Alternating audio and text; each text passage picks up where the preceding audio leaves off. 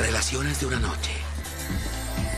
¿Y cómo te fue en tu casa? Los niños muy bien, pero Max me sigue juzgando. Así que el matrimonio ya se acabó. Tal vez sí. Yo veía a Max y sentía lo mismo en el mismo lugar que ustedes al ver a Brad Pitt. Ahora no sé lo que pasará. Ah, vamos a bailar.